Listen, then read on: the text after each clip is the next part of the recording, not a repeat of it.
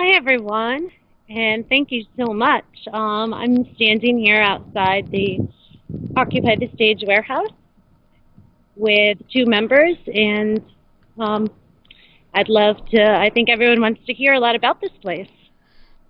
I think that's good. Why don't you introduce yourself again for the people who came in late, and then interview, um, introduce the fellows that are sitting here waiting to share Okay. the evening with us. Hi, my name is Tara. Uh, my Twitter handle is small underscore fair, and I'm with Occupy the Stage, and I'm a live streamer, so a lot of people might know me from that. I live in New Orleans, and I've been here for since '99. And uh, this is Justin, and this is Robert from who from Occupy the Stage and we're here at the Occupy the Stage warehouse in New Orleans, Louisiana. Um, hey Justin, hey Robert, thank you for giving us your evening. Uh, we're really excited about this. I've been immersed in OTS NOLA um, all week, so it's going to be fun to see it in real time. And um, Tara, I'm going to turn my video off because I have a lot of other stuff that's going to run on the screen. So uh, everybody knows what I look like, and so we don't need to look at me. I'll come back on later. So there we go that'll help with bandwidth too. So why don't you go ahead and uh, launch right into it? We just saw what the uh, warehouse was like in the first six months, so we're excited to see what's going on there now. Okay. Well, um, mm, Occupy the Stage uh, started out as just kind of like a uh,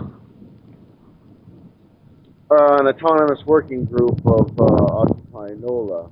Um, uh, well, it, it started, uh, I guess I'll, I'll start with when I joined.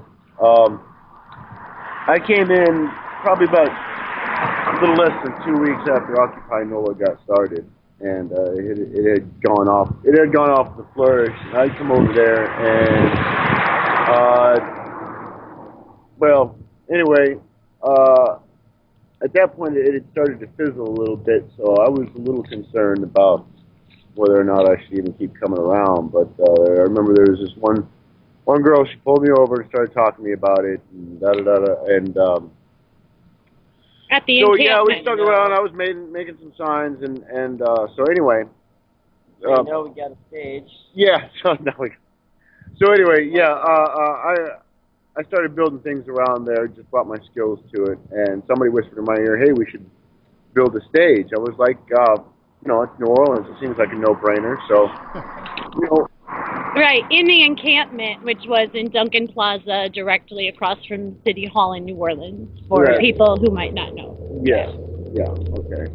Um, so anyway, uh, so we built the stage, and about a week, week and a half, we know we're looking, you know, looking for musicians and trying to uh, get a show lined up. And we had like November fifth, we had a bank protest that day, and I had just come back from that, and uh, there was a message waiting for me at the uh, encampment um, that this burlesque troupe, Reverend Spooky Lestrange, and her billion dollar baby dolls had wanted had a uh, act all lined up for that particular occasion, November fifth, and wanted to come out and perform for us after they did a, a paid gig. So, you know, absolutely, we were totally down for it. So we went out. Uh, uh, uh, me and a couple of guys went out. We uh, put together a movie screen and got you know uh, uh, got a projector out there, and we had even a screening of V for Vendetta prior to the burlesque show. So.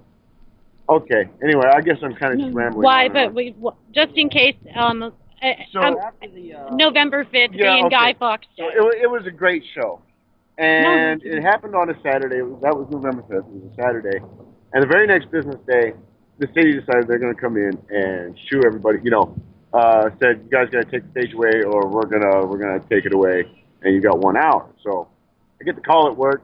I boogie on down there, and uh, uh, and it, I get there just in time to see the deputy mayor talking with one of the people at the encampment, and you know, a small group of people. And I, I went over the hill, and I saw like the stage was just festooned with people. There were people there physically holding down the stage so the police wouldn't take it away. And um, so that was actually when that was the moment when Occupy the the, the phrase Occupy the Stage was born. So that was that was when it was officially kind of became a working group. So um, we went through uh, uh, basically our, our main goal for most of the duration of staying in the encampment was just putting on weekly shows. You know, that was, that was our focus, and um, and we, you know, yeah, we, we we kept going along, kept going along with it, and after a while it became evident, of course, we're going to wind up getting a push from the city. It was happening, you know, they're popping off nationwide. You know, the cops coming in and kicking everybody out of the encampment. So we had to decide on the next move. So it was uh, at that point that we started pooling resources, getting investors to uh, uh, uh, put their money in. You know, basically was, the idea was that everybody, you know, put in a little bit, get a large warehouse where we could uh, um, pool our resources. Basically, uh, um, the main resource being just sweat equity Right. as well as you know uh, any other projects, and, and build the basic infrastructure for a proper activist movement. So um, that's kind of where we went. So yeah, uh, And did you got did you find that was, you know, was it fairly easy to do and reasonable to do in New Orleans? Um, like, did you guys have more accessibility, say, to the warehouse or to options than maybe other places, or was it still a struggle? Um, well, we didn't have a lot of the financing that the other occupations had.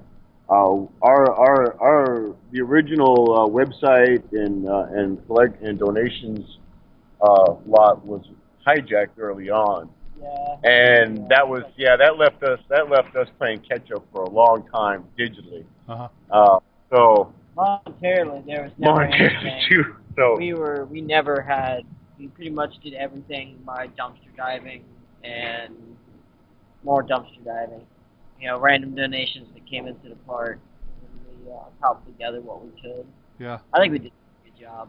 So you did it all on a shoestring with a lot of hard labor and love. Oh yeah. yeah Oh yeah. yeah Made a little blood. yeah.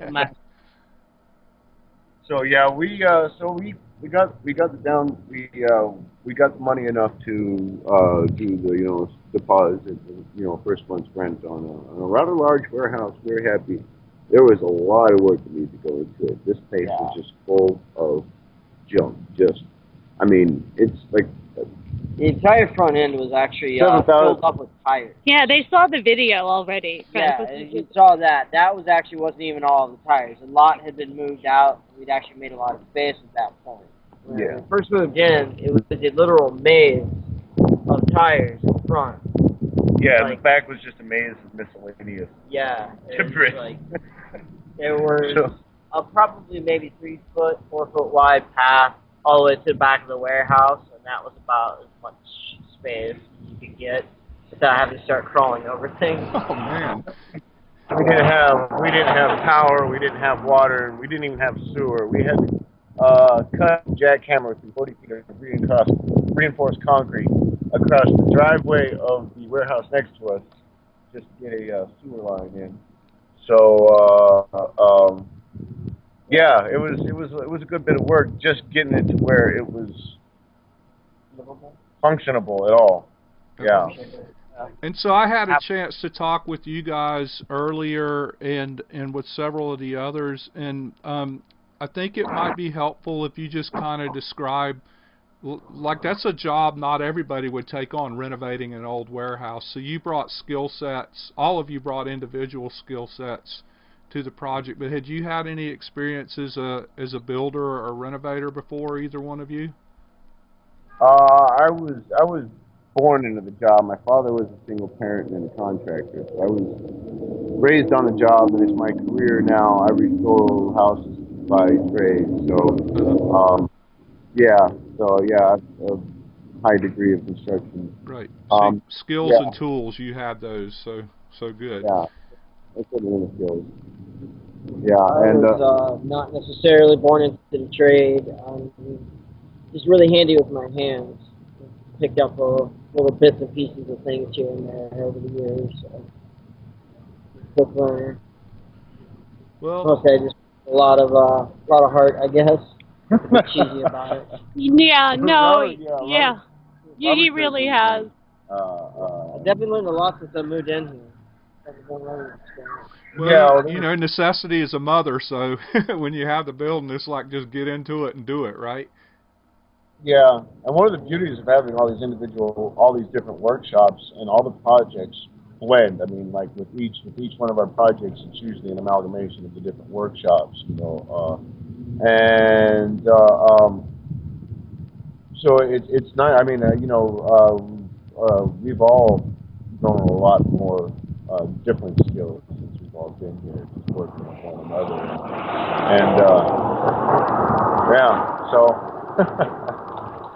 it's, Right, and I think the skill sets of individual people all work really nicely together here. Um, definitely. yeah. Yeah. Yeah, they all blend very well. So it's like all of um, all the needs are met basically. So Well, it's a Well- it's a compliment to the group, and I, I I was just you know when we were watching during the pre-show, I was like, wow, you guys have done an awesome amount of work this week that I know of.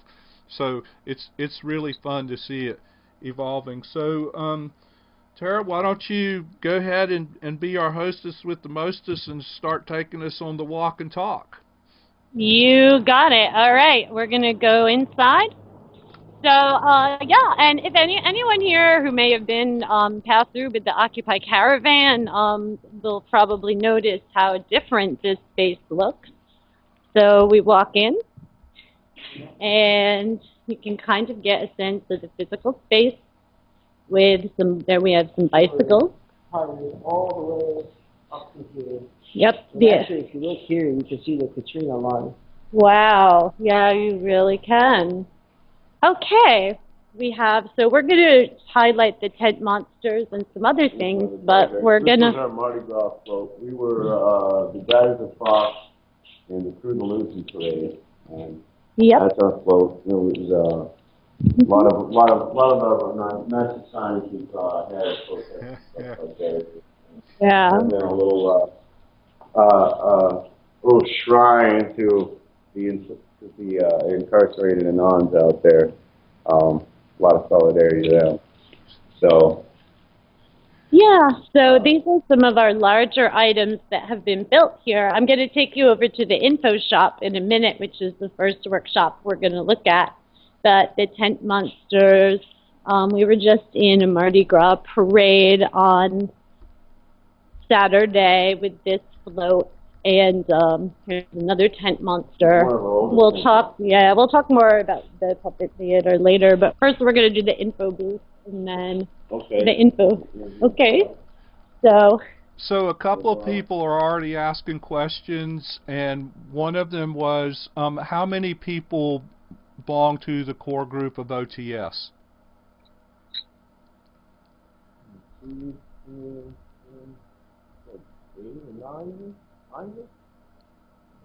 Yeah, between eight and ten, about yeah, about eight or ten. We have some people who travel and come back. You know, we have some really some people who travel and come back a lot. Um, so I would yeah, I would say I'd say about ten. Okay, Yeah. ten. So ten people. So, um, we're at the info shop right now, so you'll have to narrate so I can keep up. Okay. So um, this is Nick, and um, I'm he's going to give us a little tour of the info shop, which is just beautiful right now. Um, if you so when you come in, uh, here you go.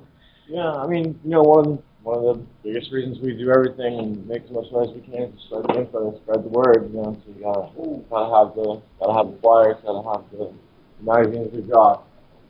We've got like a a binder full of all the past actions we've ever done, flyers for you know everything we've been involved in. We've got all kinds of free. You know, propaganda stuff to hand out. We've got the library back here as well. It's all about, you know, spreading knowledge, spreading the word. So Yeah, and and I just, uh, you know, I guess we're, we're trying to talk about ourselves slightly as well. But yeah, you know, I landed here on Halloween, and they were still trying to get everything organized, and this is kind of what I ended up taking under my wing. I, two days after I moved here, I got married to my darling Briley, who you'll meet in a minute. You know, I think y'all have video of that. It's pretty funny. But uh, yeah. Okay, so this is Nick. Yeah, and um, so here's the info shop, and it, it's really nice. We have some zines um, up here. Occupy the Stage does have its own zine, um, Who's Zine, that hopefully we'll have another one soon. We have um, definitely some great resources that people are welcome here to come and peruse, use, like a great New Orleans community resource guide. We have um, a lot of different Occupy related or activist related materials, um, wonderful propaganda that people have given us, um, stuff that we like to give out a lot. Propaganda, um, the Walmart elves are in here. And then there's even a, a nice table where people can kind of go over the information. And then we have this beautiful library. Oh, I love it. I love it. So I, I have a question for Nick uh, while he's sitting there. Um, had you had you had experience like in bookstores or zines or printing or anything like that before? Or this is just something you enjoy to do, so you took it on. Uh, I'm a, I'm just like a huge, huge bookworm. I've done like a little bit of zine organizing and stuff before. I used to have a little bit of a collection, but I'm just, I just constantly, constantly, constantly read and started going through the library, and uh, you know that's It's it's wonderful, and I want to make the point to the people who are watching, like this is the uh, one of the good examples about um, blending different media. So we're doing this presentation digitally, and there's all kinds of stuff going on in the workshop. But here we have old school print paper media. Right when people walk in the door, it's accessible, it's familiar, and and it's engaging. So um, I love it. I love it. Good job, Nick. Fan- Fantastic.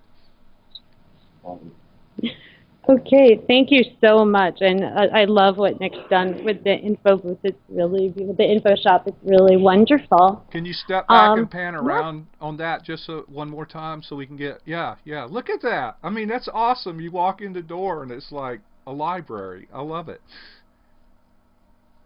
And it's really nice, and um, there. I mean, that that that also the digital media center. There are, you know, there aren't computers. There isn't a television over here, so it really is a nice place to sit and read. Because I mean, it's it's so distracting these days. If, if you know, to if there's a, if there's a laptop sitting there to get distracted and, and go on there. So it's it's a nice little area to to read and to make zine or look through zines yeah, people love it um, when they come over. They go through the the information, and that's it's wonderful. Um, the Fantastic. next station, yeah. So over here next to our float, we have our beautiful sign making station, and I'm going to introduce you to Briley. hi Briley Hi. welcome to OPN thank you for taking the evening and being on with us No problem. I'm happy that uh, we got invited to, you know, share what we're doing here with everybody on the outside. Um, my my involvement is basically wherever I'm needed. I, I'm first and foremost an artist, but I have a love for this cause and this this place and the like continuous evolution um, of being able to ex- express yourself in a visual manner. And I mean anything from as outrageous or eye-catching, anything to keep um, education afloat of what's really happening around you. That's basically uh, what I try to strive for and accomplish in this space. And, um, you know, teach people that, and, well, and let people know that it, it's okay to speak out and express yourselves in any way that you want. And um, I want Tara to pan up on the sign there and um, get a good look at that and I want you to explain this word and the meaning behind it to all the viewers All right. Um, well, okay. Um, is Latin, and it's basically the the main purpose of this is so it's used in the English language. People can. It, it's not the the word itself. Well, it is the word itself um, that. Francis, help me out here. Um, it comes from Titulus, which is Yes. a second declension masculine noun, meaning sign, graffiti, or slogan, and you know, you know the, the the little thing at the end, the ium, you know, like as like words like emporium, atrium. Yeah. Like that, Yeah. like that. yeah, house it's the sign. domain of the signs and things related to signs. Yeah. And now you have to introduce yourself since you're on the camera. Uh, I'm Francis. Hi, Francis. Thank you for being here tonight. So, so Briley, it, did you come out of uh, out of an arena where you were a sign maker before, or a printer, or did you? Is that just a passion of yours, and then you're using it for good instead of evil? Right. Well, uh, it well depends on who's looking at it. but um, I've always had a love for art, like since I was little. But I um, I pursued a career in graphic design. I got my degree and uh, tried to go into like corporate branding and the understanding of like business and advertising. And that to me was the evil thing. So I branched off and found this whole other world. Um, that fit with what I was trying to accomplish. So I was still free to express myself, but also advertise for something that I believe to be brilliant and wonderful and positive instead of, you know, going out and making uh, advertisement for like Ford or um, Wendy's, you know, or something like that. I'd rather be doing this real world shit for real world people. That's uh, what I'm trying to do. So yeah. It's excellent. I love it. And you know, I I spent a lot of time with the image pool, and all the work is so graphically powerful, and the messaging is dead on. So it's it's wonderful to see, and and again, to make the observation that um you know you're using yet another layer of media to communicate, and it's accessible, and um people like it. It's fun. It pops and it imprints. So so excellent. I'm I'm so envious of you guys. It's really good. Good. And when It's amazing. Yeah Yeah. So do you guys have like community sign making nights or something like that? Like do or do you do? Does the collective do most of the work themselves?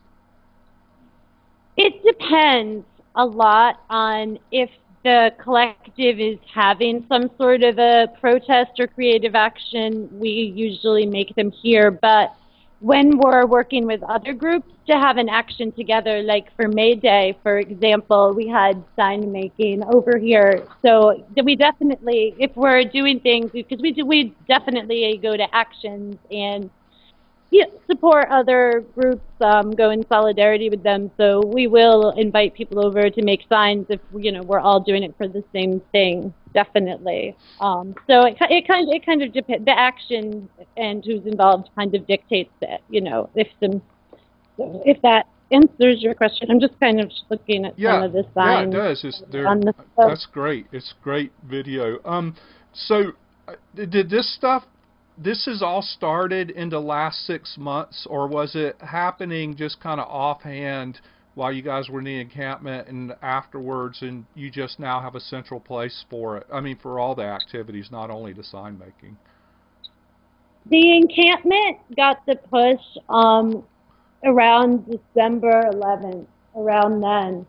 And the warehouse was, I remember being here during Mardi Gras time last year. We signed our, yeah, the, uh, the lease took effect on the first of January. Okay. So, yeah. Yeah. There was almost a month all between having the encampment and Yeah. starting to come. It's just an enormous amount of, of handwork. I mean, not only the renovating the space, but the creating of all the materials and everything is so impressive. Uh, I love it. So, uh, thank you, thank you, Briley, for showing us your your area and keep up the good work. It's wonderful to see you again. Thank you. Thank you, Miss Riley. Um, okay. Hold on one second. Um, yeah, so also Nick and Briley actually came here pretty recently ar- around Halloween and got married here. So I think, uh, Mark, you were going to play that clip maybe or a part of it. I put it on the Etherpad of the Halloween wedding. Uh, uh, I'm not organized. Uh, did you did you title it as Halloween Wedding? Yeah. Uh, I failed. It's okay. but we're going to make the Etherpad available to not the production pad, but all the links that you gave us. Uh, clearly, one of the chat facilitators is putting it all in a pad to show, share with the public. So I encourage everybody to um, take a look at that because uh, Tara and the crew worked hard putting together all these things. I can't believe I missed that, but Yeah. oh well, So it we're happens. Gonna talk about, yeah, we're going to talk about digital media next, and um, we're going to do it. Okay. Um, yeah, I got. I kind of what I wanted to say about digital media that's quick, kind of connects, I think, to what we were saying. So I was wondering, um, would you hold the camera? Just hold it, just like that. Good. Me? Hi. Um, I'm Tara Gill. My Twitter handle is Small Affair. And I, after the, I started um, trying to live stream Occupy because I was worried about police brutality. And I remember being at the encampment and having this Android with a battery that would die. This was in November of 2011. Wow. And um, wanting to live stream. And the first thing I live streamed was Occupy the Stage. Um, it just happened one night, and it was really awesome. And then the encampment was raided, and it was really hard to find Occupy. And I remember there was a Mardi Gras parade, um, the first Mardi Gras parade of the year. And I had it, there wasn't a lot of digital media going on at all then. So I, there wasn't really a website. Um, there wasn't much for Twitter. So it was really hard for me to figure out what Occupy was doing. So I heard through word of mouth that Occupy was doing a Mardi Gras parade. And I told all the live streamers, oh, I'm going to go live stream Occupy in a Mardi Gras parade. And just I just word of mouth. And I went to the through the roof through the Delusion parade, and they, they were it was Occupy the stage with the expected stuff. And they were, and I couldn't believe it. I was like, oh my gosh, they're in it. And so that's, I mean, that's just kind of um, my little spiel about digital media, how I got involved was I saw them on the street and so started recording them. And you said, "Hey, I can do this." And so, are you doing most of the digital media for the group now, or do you have is everybody contributing to the pile, and you just kind of manage the info flow, or how does that all work? I would say I definitely do a, a lot of it. Uh huh. Okay. Yeah.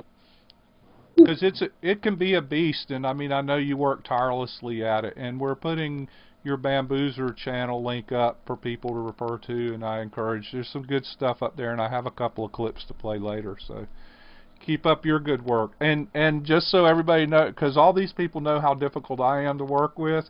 You know, Tara was absolute jewel, and we both were trading stuff back and forth and got excited. So we we thought we'd try it this way tonight. So I want to thank you for all your patience and hard work on it. Thank you. You've been wonderful to work with, and this is a real privilege. And um, let me go to Captain Black now. This is so. Here we have kind of the digital media station. Um, well, there's a computer, and um, I. This is uh, we Captain Black, and he was at the encampment um, at Duncan Plaza, is where I first met him. And um, I'm gonna let him introduce himself and you know talk a little bit about his relationship with the collective. Hello world, my name is Captain Black. My Twitter handle is N-A-D-R-A-E-N-G-I, Nazi Energy. And basically, I guess I represent more the Ron Paul wing of the movement. You know, we uh, are very interested in autonomy, we're very interested in direct democracy, we're very interested in people actually participating instead of having corporations manipulate us to, uh, you know, the puppetry of the two-party system. And we do it without being angry, without being malicious, and by being very cooperative. Know, I think it's a model that could be duplicated. What I like about this group is uh, a lot of people aren't able to bridge the gap between grievance and governance as smoothly as I've seen people do here. Yep. Well, welcome to OPN, and thank you for taking taking the uh, evening and spending with us. So, tell us a little bit about your your digital media center there. What do you, what is it? What's your goal for this little workspace, and how do you use it? I use it to operate several blogs. I'm also carried on a number of blogs and just presenting the ideas, you know, uh, individuals not being controlled by a person or organization, and you know, kind of corny stuff, people helping each other freely without coercion, without force, and it's a uh, it's a message that while it seems a little bit, uh, like I said, corny, it's being very widely received because people are growing a little bit tired of feeling like they're being manipulated, they're being treated like sheep or children. So, you know, people, I think that if there's any good that came out of this horrible economy is that unions like this have come together. Yep. I, I actually, um, this just reminded, if it's okay, this just reminded me of something after Hurricane Isaac. Um, the quiet crisis was Yes. something that you and I were both using a lot of digital media to discuss. Um, we were calling it the quiet crisis, and we're blogging about it and using Twitter and every other avenue we could. One of the great beauties of uh, digital media is that one person at a keyboard has the equivalent reach of a 20th century radio station and a printing press and an army of newsboys with each keystroke. So, you know, it really multiplies your ability to connect with the world and to bring important ideas and issues to people's minds. Um, you have a really good grasp of the media because we have these same discussions too about using it as a tool for communication. And you mentioned radio, and that's always on my mind. Like, how do we get out of the bubble, and how do we reach people beyond just the internet access? Is is this something that using digital media as a communication tool is that something you had been interested in all the time, you know, for a while, or did you see a need for it and just said, okay, here's a tool, I can use it? Well, here's something funny. I'm a little older than everybody here, so I go back to the days when you actually had uh, typewriters. Yeah. Well, me and you are the same age, so uh, that's cool. I'm glad I'm not talking in the blind to somebody. So being able to see how communications has evolved so quickly, and let's face it, for a lot of younger people, they can't get it on their iPhone, or they can't get it on their smartphone. It didn't happen. So using this using this relatively simple medium allows us to be be connected with the world. And I've got people from England, Australia, and other places following me on Twitter. And in the old days, I would have to spend years possibly building up a profile big enough to reach to those far distant places. But yeah, digital digital media is indispensable. um, so I'm going to ask a, a little bit of a personal question. You don't feel obligated to answer it, but I'd be interested in what your your background was before you came to work, you know, in and around Occupy and with uh, Occupy the Stage, because it sounds like you have some some sort of a media background, just the way you're you're discussing it. Well, I've um, been a published writer since my sophomore year in college, and an outgrowth of that and being an activist, I've both written news and been covered by news media. So, Okay, so that that makes sense. And so you know the power of the word and the power of communication. yes, I do. Yeah, keep up the good work, man. It's it's very inspiring. Thank you for for sharing it with us. And we're posting your blog on our chat so people can check that out and uh, keep it up. Thank you very much. Thank you. Thank you, Captain Black. Okay, so um, we're going to walk over and get to see the fun large objects again. And we're going over to the bike shop now. So here we have Robert. And just let me, yep. Oh, wow. Man, that's a like a four wheel bike shop there. Good lord. Yeah, I put a lot of work into it. Getting there. Still a few more things I want to do. But uh, I'm pretty happy with it right now. Yeah, and is it is the bike stuff something you just picked up out of interest, or did you have some experience with that previous to this endeavor? Well, I mean, I don't think we all know learn a little bit about bikes growing up. You know, you know how long we don't want to just turn a wrench on it just to see what happens. And I've always been handy with my hands, so it's just I don't know. I just like tinkering with things really. Yeah, Tara, can No. you give us a good pan around of that space because I I was looking at the pictures. I said, "Oh, that that's nice, but this is the real deal, man. I mean, you got it going on in there." Um, what do you what do you do with all those bikes and parts? Um, Well, I mostly build uh, motorized bicycles here. Um, I also have all these extra frames. Uh, a couple of these I have other projects in mind for, but I'm probably going to put most of these back together um, for house bike fleet and, you know, maybe sell one or two. So motorized bikes. Um, so this bike, for example, right Mhm. here, I'm going to zoom in, has a motor on it. Yes, uh, 66 cc two-stroke motor. Uh, they're awesome little things. Depending on the weight of the rider and bike, you can get upwards to 35, 40 miles an hour on them. Wow. And do, yeah, get about 100 miles a gallon as well. Although I estimate mine gets about 80, but that's certainly better than like 20 on a SUV. Yeah, exactly. And so that in New Orleans is a bike friendly city, right? I mean, as far as it being flat, Oh, easy to get around. Wonderful. So yeah, there's no hills here, and so yeah, you can get wherever you're going. You know, within a few minutes, you just cruise right along. It's great. Plus, having that doesn't have a motor too makes it even better. It's a lot of fun parts of the city just to cruise, just to roll through. I like roll through City Park every now and then.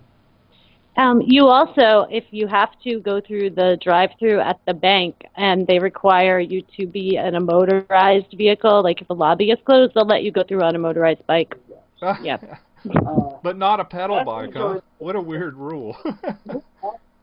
they're a little, uh, a little more finicky about theirs, though. Sometimes I get away with it, sometimes I don't. It, it's a wonderful um, little shop there, Robert. You, I'm I'm really really impressed. Uh, you know, I had great expectations of the space and the shops, and you've blown them away already. This this is pretty incredible. Oh yeah, it's well, and it's something anybody can do. I think you know, a little time and effort. A little, yeah, a little time and effort, a lot. I mean, these And mo- really, what it's what's gotten me to this point is just bits and pieces here and there. You know, just find things, little things. You know, every now and then you cross something, come across something cool like a bike frame. And then, you know, next thing you know, you got, got yourself a nice little bookshop going. Um, I love it. Do, so, do you um, guys? I know I've had some friends in New Orleans that did like community bike repair and stuff like that, and little workshops. Are you guys doing that yet, or is that on on stack for maybe someday, or what's your what's your plan? Well, I do most of the bike repairs. I mean, not all of them, but I'm mostly just doing for the actual house. Mhm. Uh, you know, just for the warehouse group. Um, I don't really. I I know a lot, but I don't really know everything. I don't really have a specific bike parts. Uh, you know, inventory to do it. Unfortunately. I mean, maybe in the future it's something I'd like to think about. You know, if I ever expand out of out of this little workshop. But yeah, mostly like I said, in house. Yeah. Are most of the group uh, bikers? Does everybody pedal around? I like the vision of that. What? I'm the only yeah. I um, I have a car that um I try not that I try to drive as little as possible. So you, you have one other vehicle, and it's more oh yeah, for you know supply runs and Right. and A service vehicle. Yeah, Well, that's yeah. great. We're pretty pretty much exactly what it is. Well, I I Yeah. love that you guys are not not only you know it, it's sometimes it's kind of weird because somebody will have a bike shop but they don't they don't ride bikes you know they just have the bike shop so it's really good to see you guys covering kind of all ends of the spectrum there you're actually living and working what you believe in and what you do so it's like a holistic kind of thing, which speaks really well of the group. So, so thank you so much for showing showing that to us. It's wonderful. It's so clean. I mean, I have a shop. It's not that clean. It's beautiful. a lot. Not Oh, and let look at the beautiful sign. Um, look at the sign. This Awesome. I, I just think this is great. there is Yeah. art everywhere at the Occupy the Stage warehouse. I love it. There really is. There definitely is. Here's some art on a skateboard as we approach the woodworking shop. You ready? Okay. It's kind of dark in there. Yeah, yeah. I, I, uh, I sent all my tools out into the greater space. You know, my project. Terry, I can't. We can't hardly hear him. Yeah. Hold on a second. Okay. Okay. Yeah. So this is this is the wood shop, and like just up here, there's this really nice. Um, you can see the woodworking sign shop, the wood shop, and this is Justin's wood shop. And I'm trying to get as much light as possible on him. So Oh, we're not going to do a set change. I was I was all geared up. oh, there we go. Oh, wow. wow. Set change. Segways for shops, but um, yeah, we. Um, anyway, um, this is my wood shop. It's uh, mostly there's so much that goes into woodworking and what have you that this my space is mostly just for storing tools, material. A lot of my tools I don't even keep here. They're they're on the job of my you know my usual day to day job. Um, so, but I've got duplicates of most everything. I do need another table, so other than that, we pretty much got everything here for as far as a full, fully functioning wood shop. Um, so we do things like uh, the bicycle chassis we built the float on will be soon be turned into a mobile info booth, which we're going to be rolling around town and stuff like that. And this is the reclaimed cypress I've uh, planed down and uh, going be making it out of that. So, um, and there's a lot of uh, uh, uh, myriad of shops here. You were asking earlier if like we did any kind of community stuff. Um, we we held a uh, uh, I think a uh, for the crafter's workshop. Uh, the birth of that was kind of uh, was a community outreach project where we were doing classes on uh, making gifts for Christmas. And there are plans, at least for me in the future, to do some teaching, some teaching programs to teach people uh, basic woodworking, construction. One of the things I want to focus on is like restoring the old architectural aspects of New Orleans. Um, one of the things New Orleans is suffering from is, is a lack of skilled uh, craftsmen that can restore these old houses because the kind of um, craftsmanship that went into these old houses you don't see much of these days, and it's getting to the point where the actual craftsman is, is just dying off. Everything nowadays, you know, you just you buy it from Home Depot and bang it together real quick. All the doors are pre-hung, all the windows are pre-hung. You know, it's just. Yeah. So yeah, working on these old houses, it's it's a completely different beast, and that's one of the things I want to get into. Um, it's also a good good career move for anybody who doesn't already have uh, solid direction. Um, so yeah, yeah, and uh, And so the out of your your wood shop there, and I, the images I looked at, like like all good builders, you store your tools there, and then you spread out into the big space in order to do these projects. So, my understanding is that the puppet theater was built out of this shop, and the float for the uh, parade was built out of this shop.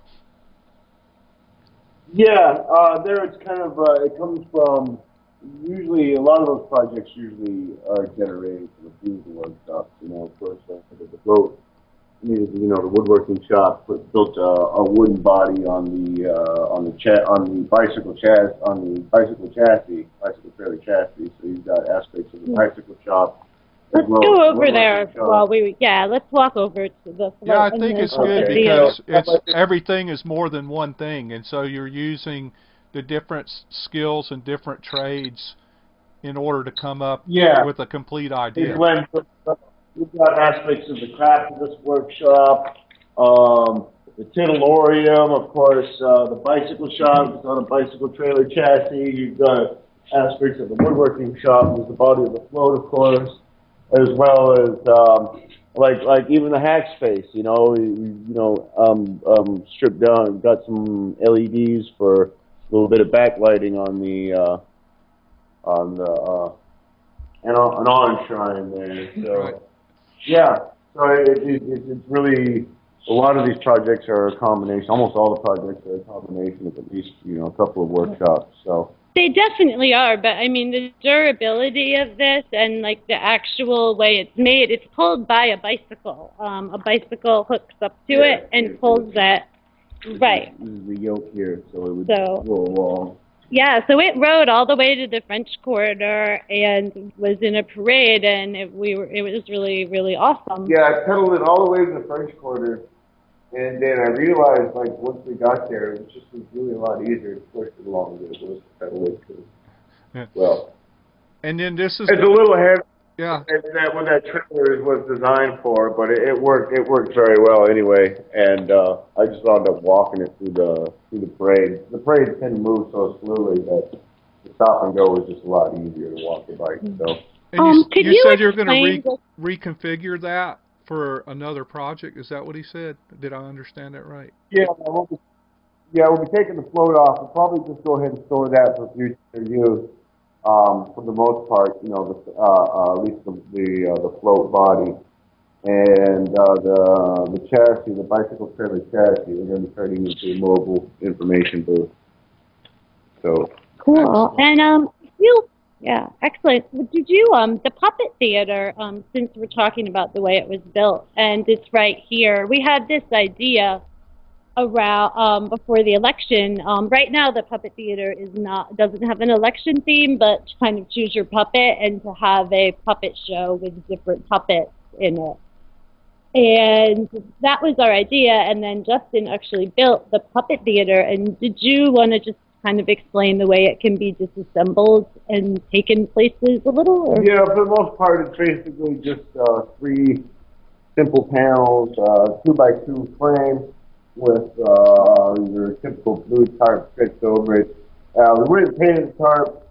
Paint didn't stick very well. so That's one thing to keep in mind. I actually wanted to get some canvas, but the Home Depot close by only had canvas drop cloths that were five foot by five foot each.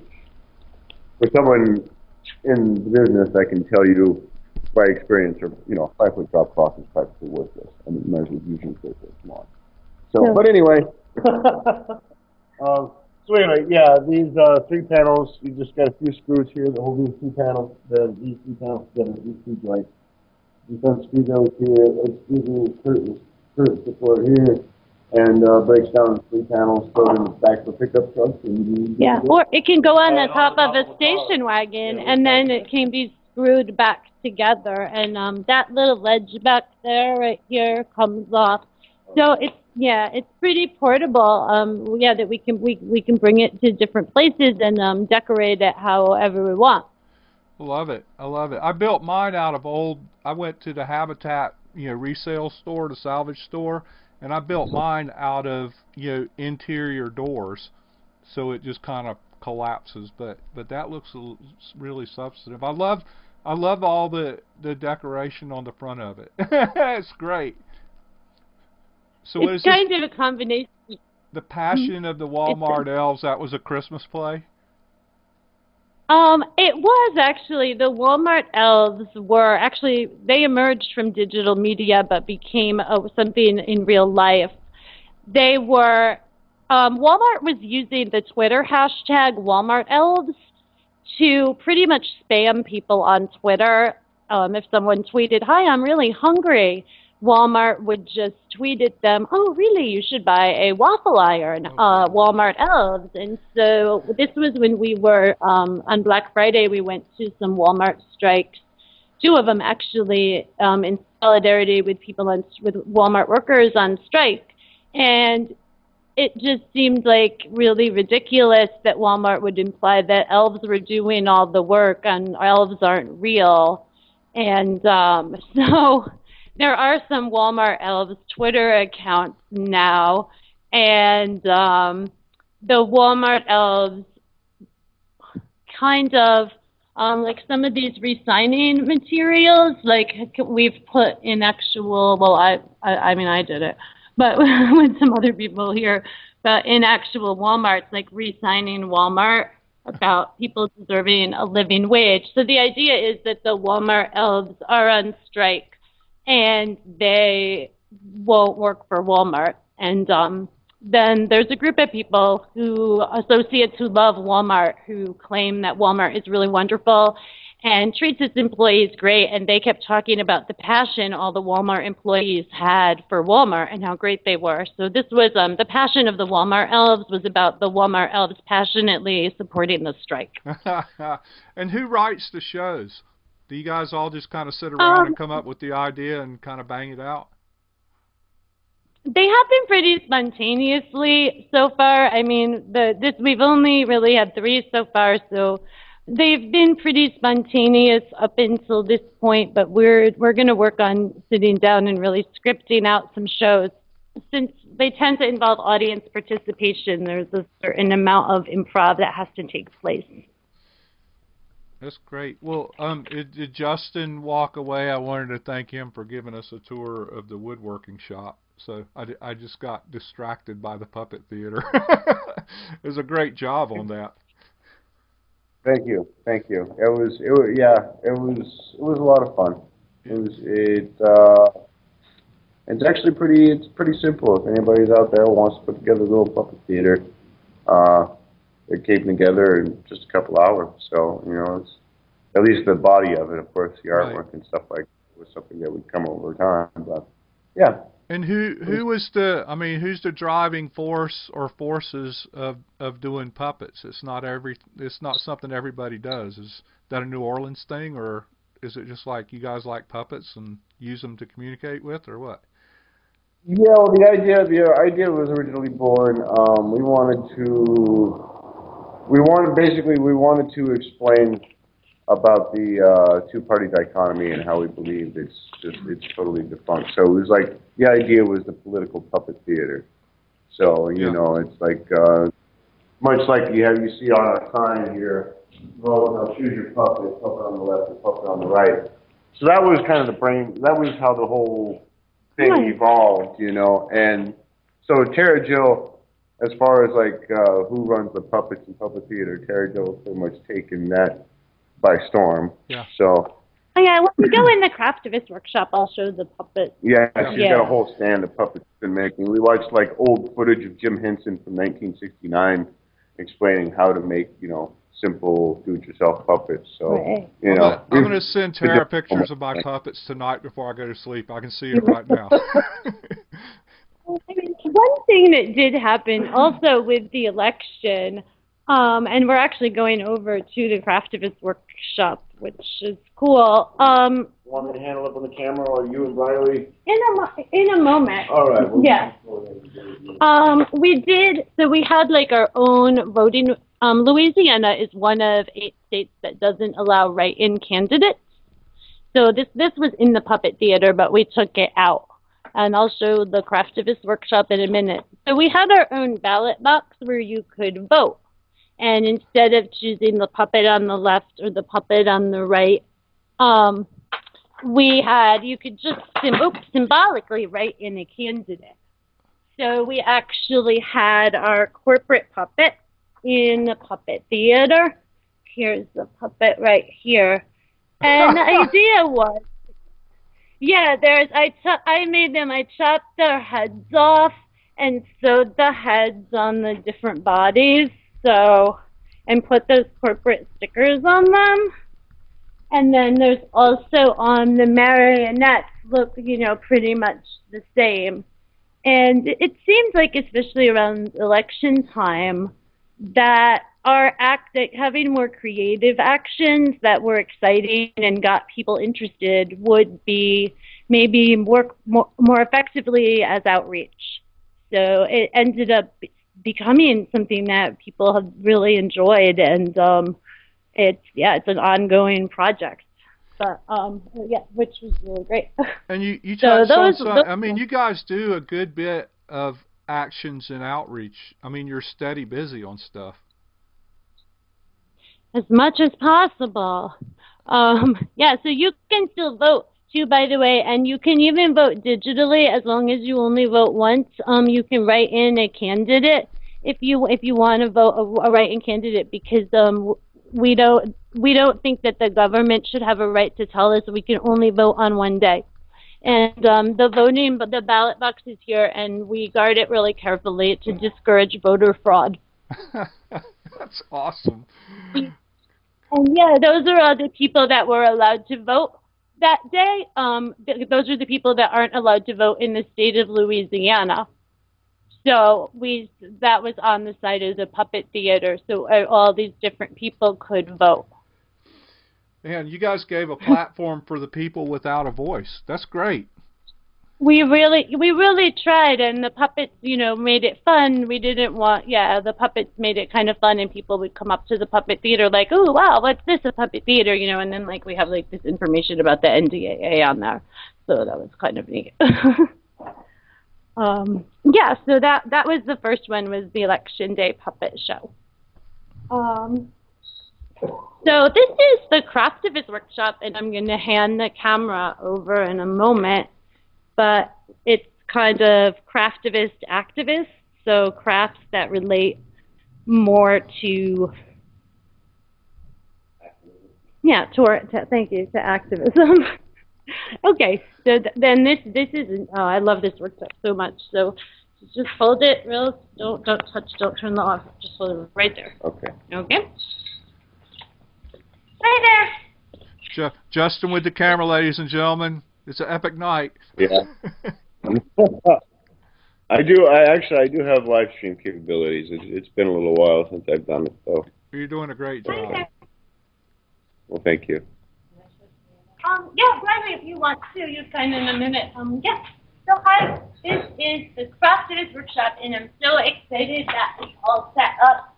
And um, the Craftivist Workshop started before the holidays. Um, and it was called Up Holiday, and it was an opportunity for people to come to free workshops to learn knitting, to learn jewelry making, to uh, learn how to make gifts to give to people instead of spending money, you know, at corporate America, or people who just can't afford stuff, or want to learn how to how to make things. Just applying another skill set, basically, was the goal of that, and a creative outlet and whatnot. And so this was this was a a public thing, right? You guys opened up for for people to come in. And how Yeah, often uh, did how often did you do that? Um, uh, well, original, we're, um, I'm trying, you and I need to sit down and talk about that. Yeah, But it was- originally it was like on Sunday evenings, and it was, uh, open and, um, pub, like publicized through the free school. And anybody could come and, um, I think we have a couple shots in the slideshow at the beginning of, uh, a, a bunch of us like working on jewelry and whatnot, uh, for one of them. Um, but uh, it's not on Sundays anymore. They haven't really made an official day of the week. But really, I mean, as of right now, as far as I'm concerned, anybody could come in anytime they wanted, as long as I know that they're grabbing something.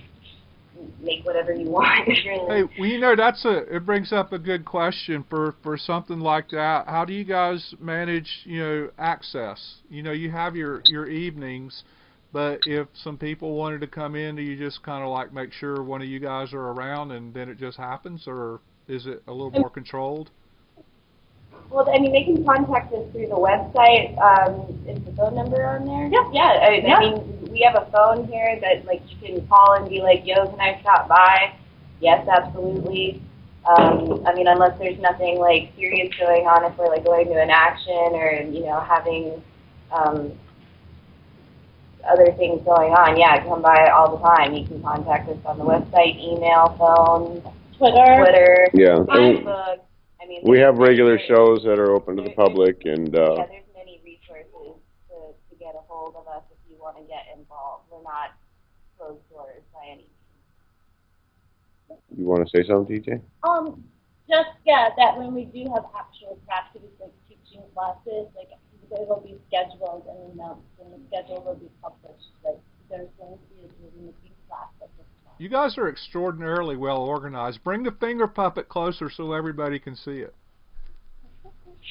Um, and there's actually um, there's a woman here in town who is a very experienced puppet maker who I'm hoping will come and teach some puppet making skills because I'm kind of learning as I go along. This is one of the Walmart elves um, who performed in, in the Passion of the Walmart elves, and um, they had a chain. See, they had a chain like this. And yeah, and then let me see. These puppets, and anybody, I really, I don't know how to make puppets. And when I started saying we were going to have the puppet theater, someone accused me um, on Facebook, I guess, of um, trying to profit off the movement by, um, you know, my career as a professional puppeteer. And I didn't know how to make puppets at all. But um, this one, actually, Justin found a really good video of um, a Jim Henson video how to make puppets. And this is a tennis ball and then like inside of it, I made this little. There's kind of I mean I I use duct tape pretty much for anything. So there's I cut a hole in the tennis ball. There's some duct tape. You can stick your finger in there. Um, I put some fabric on his head. We like uh well we Briley especially we like to mess up Barbie. Yeah, yeah. Yeah, so we uh, have some well, hair. That's true. Yeah. That's that's that's Here's, uh, yeah, see, this is a jailhouse elf Barbie. jailhouse elf Barbie. ah, that's awesome. So that works. That works out really well though, because then there's some hair that can go on the puppet. So I mean this. So then you just have this cloth. So you put your finger in there. So this is the random anarchist puppet here. Yeah, this puppet's an anarchist. Um, yes, look. Well, I think he's a boy. People thought it was a girl, but I thought it was a boy. So I don't know. So I thought, you, I thought it was a boy. you did? Okay, Yeah. good. So then you kind of put the um the rubber band Not gender Around- specific anarchist. around Yes, as, as, as it should be. Put your and then you kind of you have these hands. See, hi there, hi there. So That's awesome. in the passion, of, yeah, in the passion of the Walmart elves, he managed to rescue one of the Walmart elves from Walmart. Uh, yeah, he he he got one of the Walmart elves out, not this one. Um, they, they were on this chain. So yeah, so let me get him. Um, yeah, so of, this Walmart see, he's not holding the low wages sign anymore because he doesn't have to work at Walmart anymore. So yeah, he got rescued um, by this puppet because yeah, because he could actually like, take him and run away with him. That happened in the puppet theater one night. Um, yeah, kind of spontaneously. Yeah. so that was yeah part of the passion of the Walmart elf. And it's fun. I mean, this is a little piece of cork. These are um, upholstery tacks, and um, you know, it's it's it's pretty fun to make these puppets and, and to see how easy it is. I was, you know, I really didn't know it would be even that easy. Political So- puppet theater. Hey, do you have any of the others, Briley, you or Tara? Do you have any examples of the other stuff like you guys were making during the holidays? I mean, I saw a bunch of Twitter pictures from it, or just to show people Yes. kind of what other assortments you did. um, everybody in uh, in the collective uh, was part of making these bracelets. Uh, they're out of bamboo tiles uh, from like uh, place. Sorry, I'm shaking.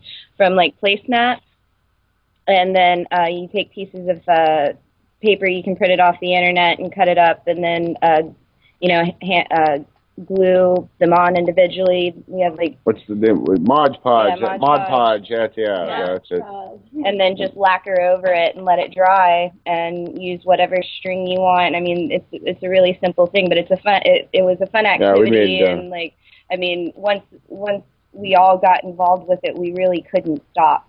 Yeah. So, we made like, keychains, bracelets, uh, We made uh, a couple necklaces. Yeah. we gave uh put some out as um throws for the Mardi Gras parade, Yeah. and some others we're going to be using on the uh information booth. Uh, see about getting a permit for selling trinkets and stuff like that. So, Fantastic. um, yeah. Also, hey show them show them the buttons. We we I don't recently know where the, the button button went. machine. Yes, yes.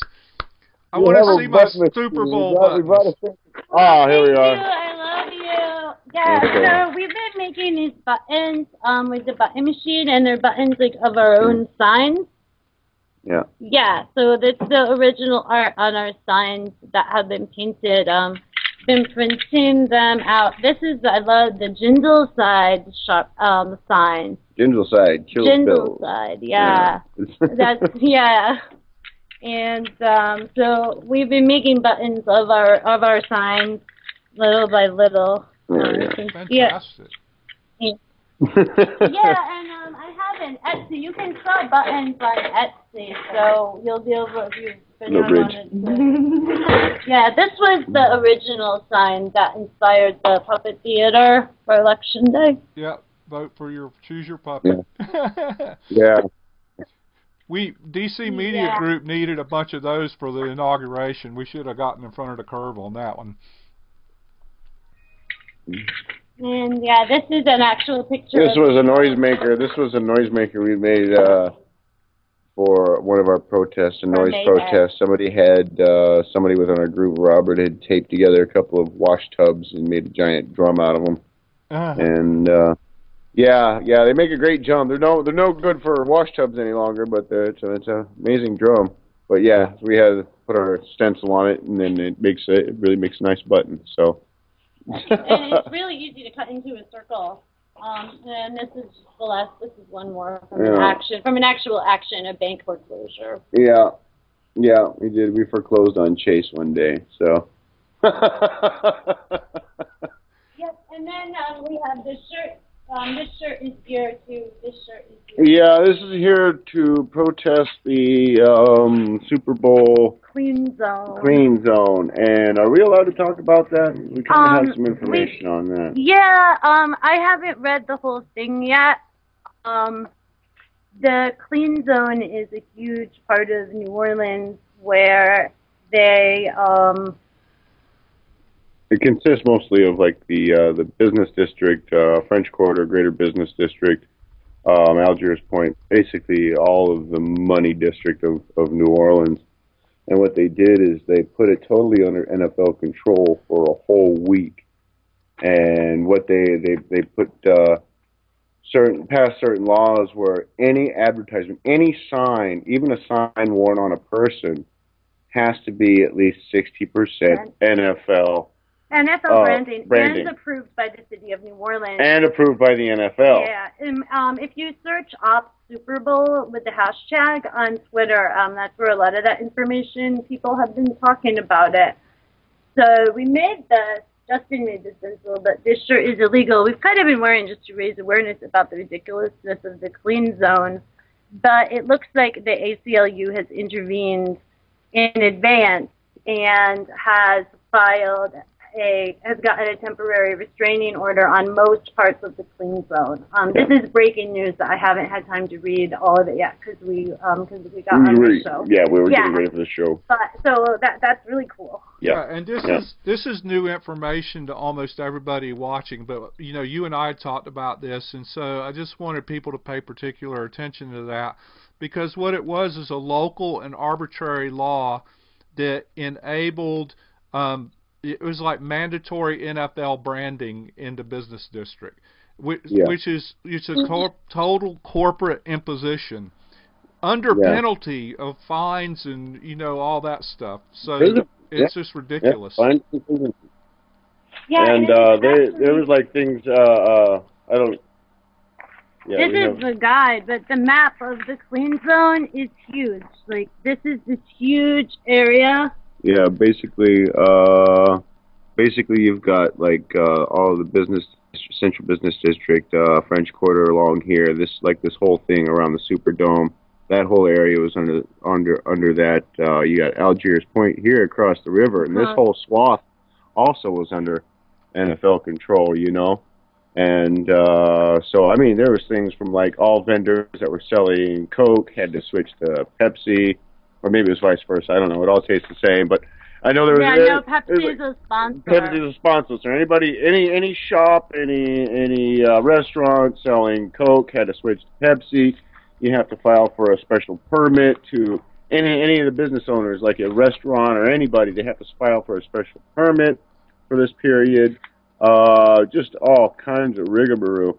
Of course, you know they're chasing away. They're also actively chasing away all the uh, uh, like street protesters, uh, the street vendors, the uh, musicians, um, um, and uh, your buskers. You know, your your street entertainers, and they come in all varieties in New Orleans. So they've been making a push on these on these cats as well, just trying to get them out and Um, so all the corporations can, you know, put their Disneyfied version of New Orleans out there for everybody to buy. Well, So yeah. So, so you, guys, you guys sort of have plans. So I don't know if you can talk about them or not, but you know, fight the good No. fight on our behalf.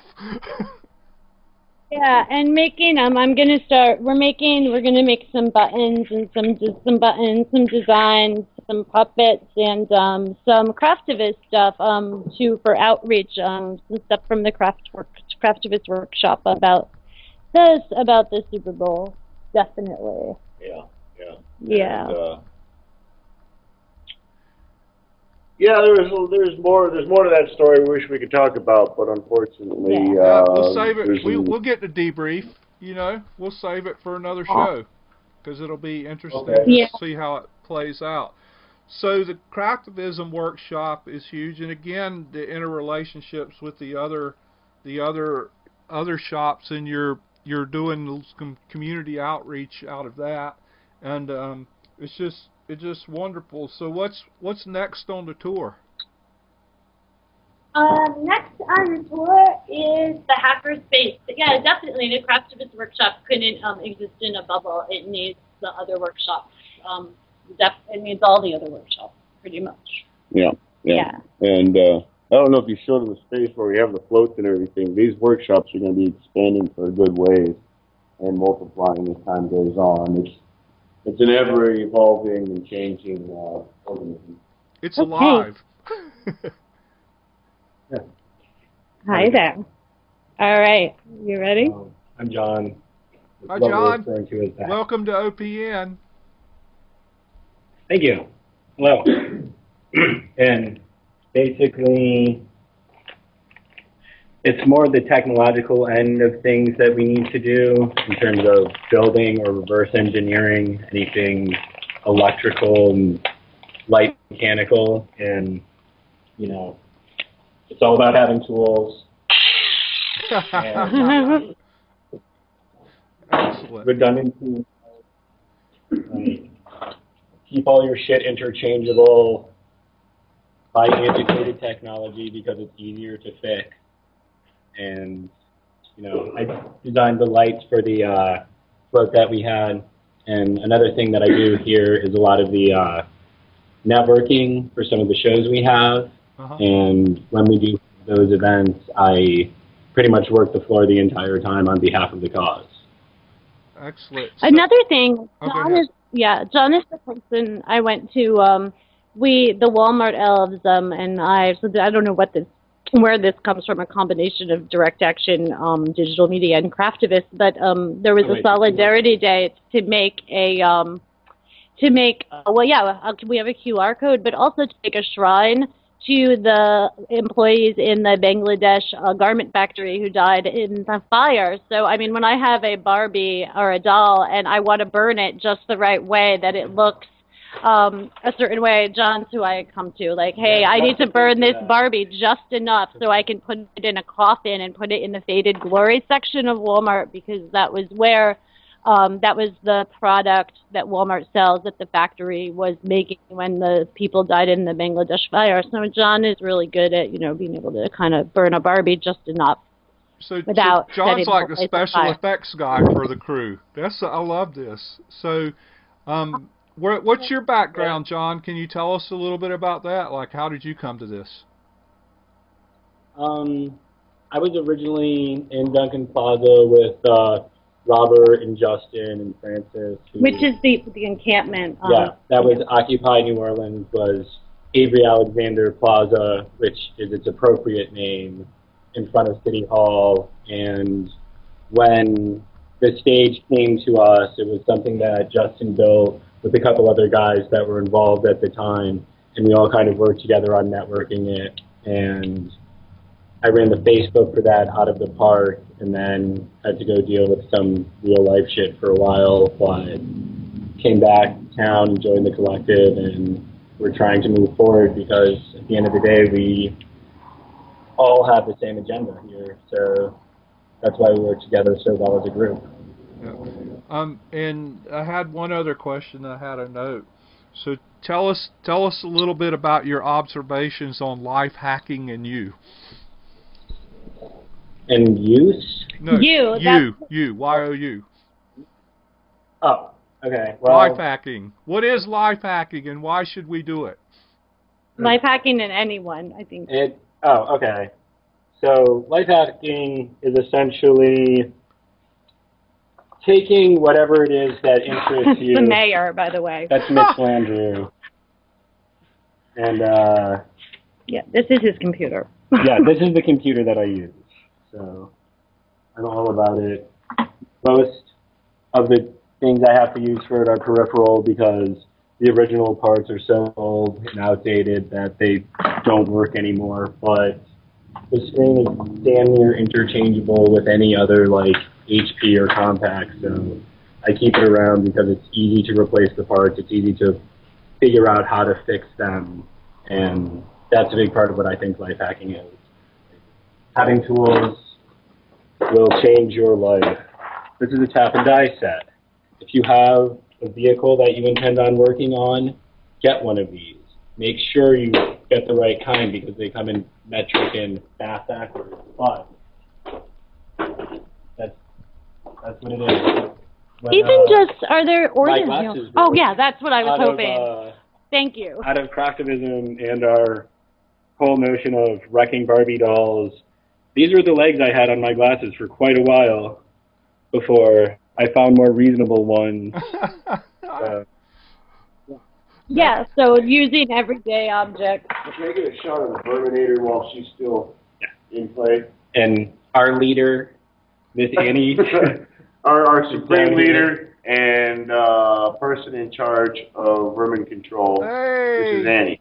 hey Annie, She, Ocu Kitties. yeah, well, she's she's she's she's in charge. She uh she cracks me up whenever we're slacking around here and getting a little too comfortable with ourselves and. Excellent.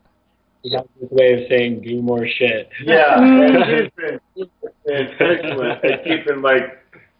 First, she had to knock out the possum possum problem. Stand next Then me. she knocked out the rats, and now the only time we see a mouse is when she's got it. So she's It's.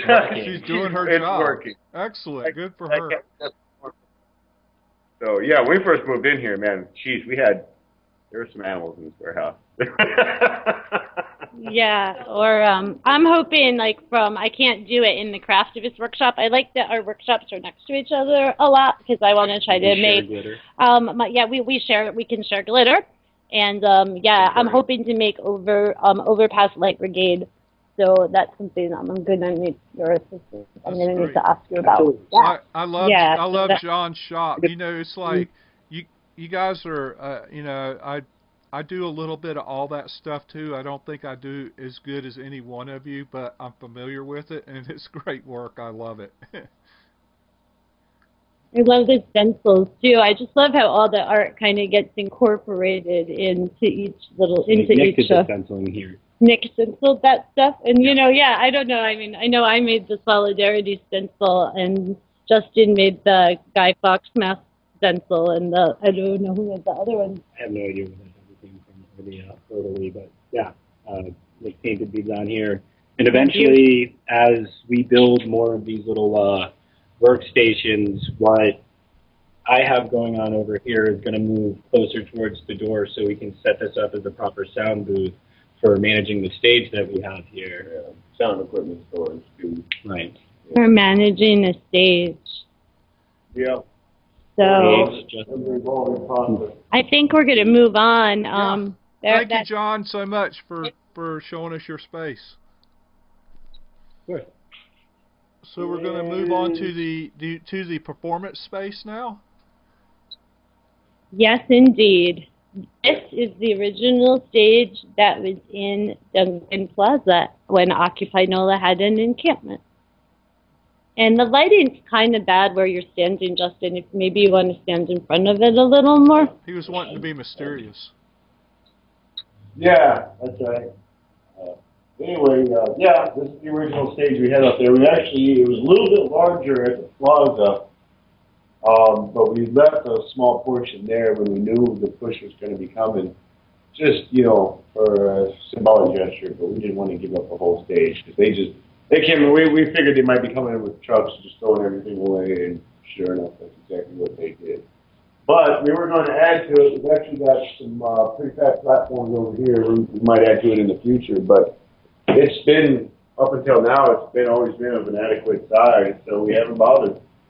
Um, No. We have a nice uh, piano that was donated to us by a guy that goes by the moniker Capitalist John. Really? So, yeah.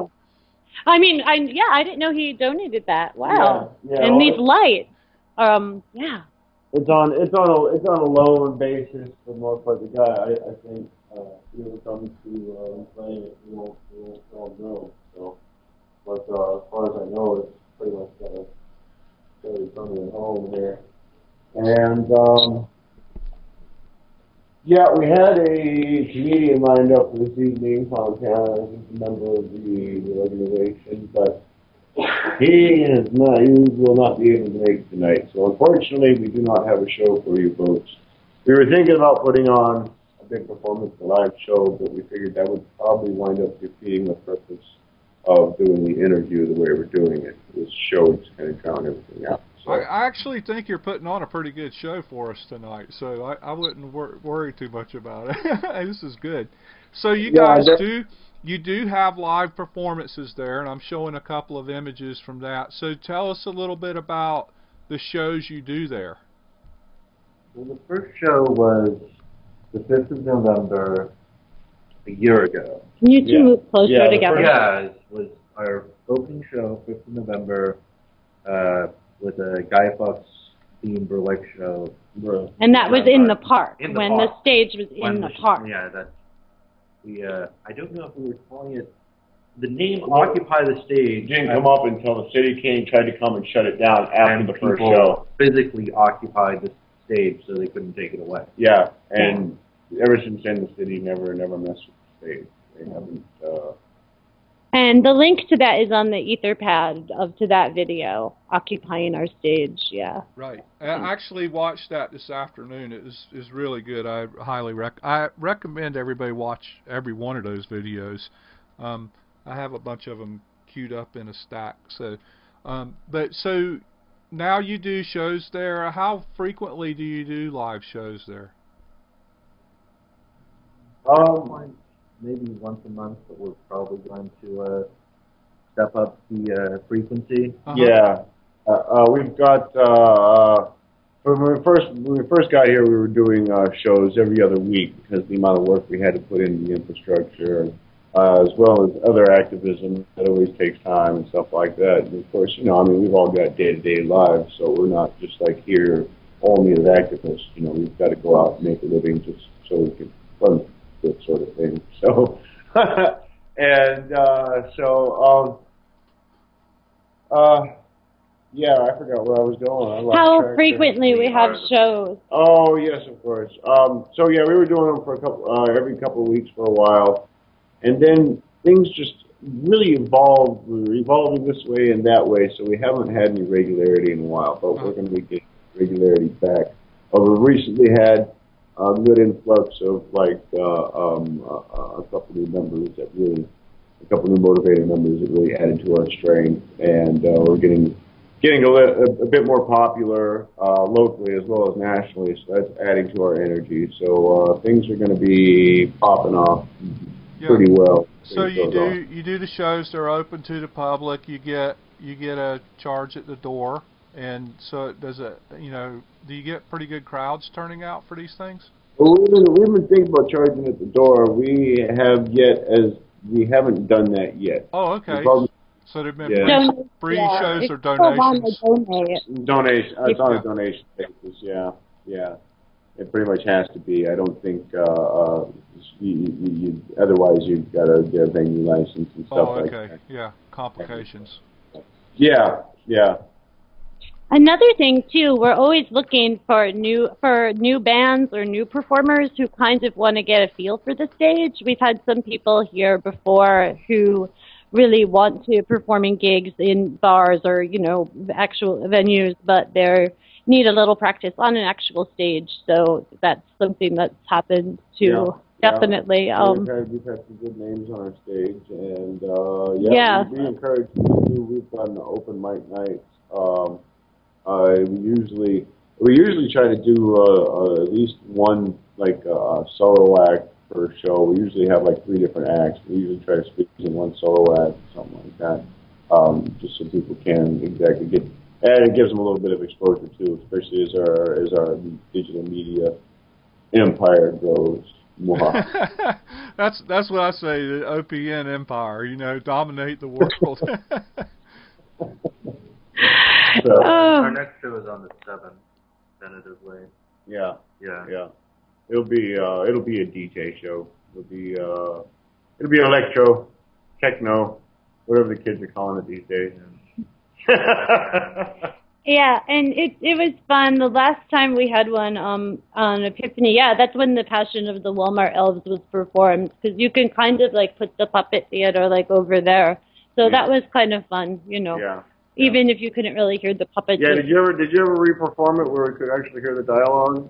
Um, I need to. I haven't done it on record on tape yet. Even even even with the even with the techno music turned all the way down. for the hearing.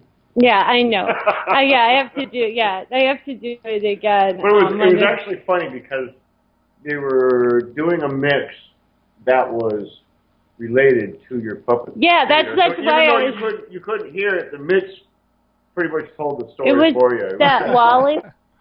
Can you say the song? That Wally World. Wally World. Yeah. Oh, yeah. Everybody knows it, but me. Of course. Yeah. That that bounce that bounce song that came out a while ago. Uh, Wally Wally Wally Wally Wally Wally Wally World. Uh, uh, that was actually filmed at a Walmart here in New Orleans, and.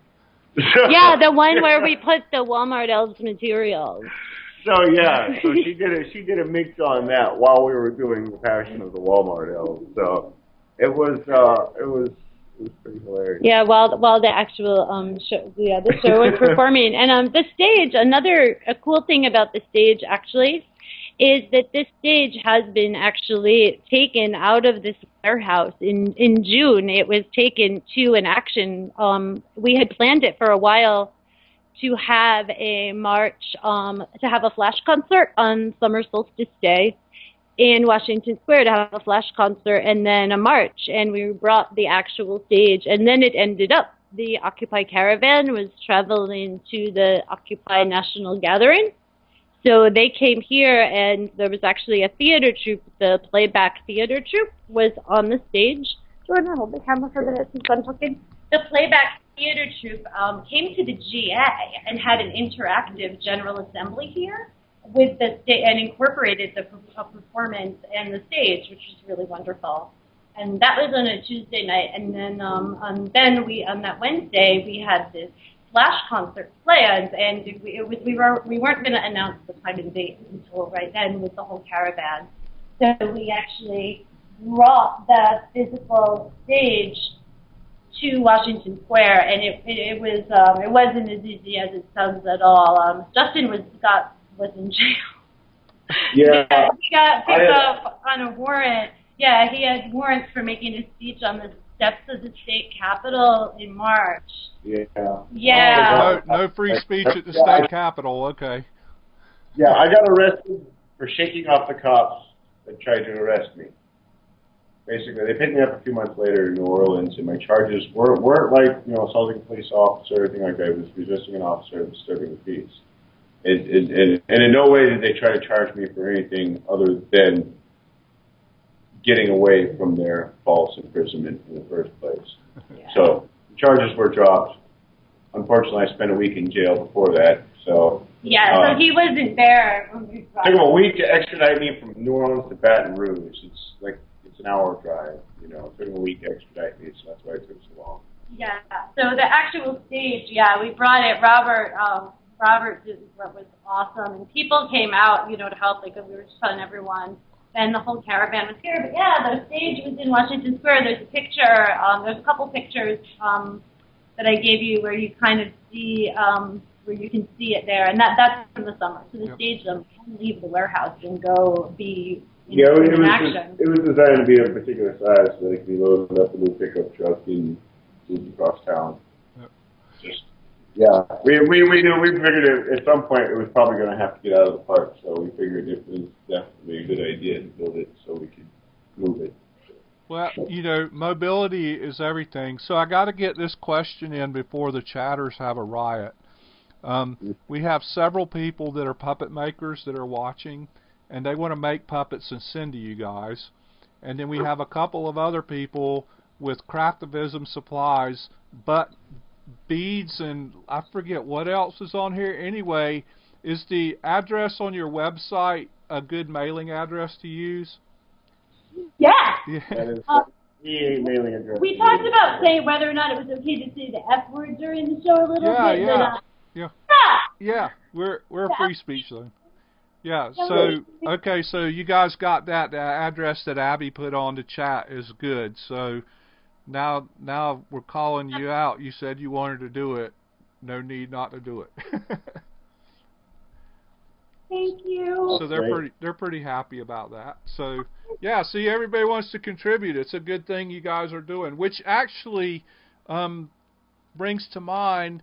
Do you guys? I don't remember seeing it. Is there a donation link on your website, or do you you have one on your Bambuser so we can find all that for people who are interested in maybe donating?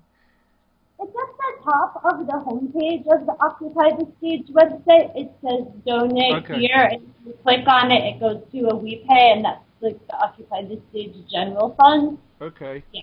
got you. It's up there, and um, yeah. Now, I I want to. Um, who was it that was worried about having enough to talk about that we could fill up an hour? Was that Justin?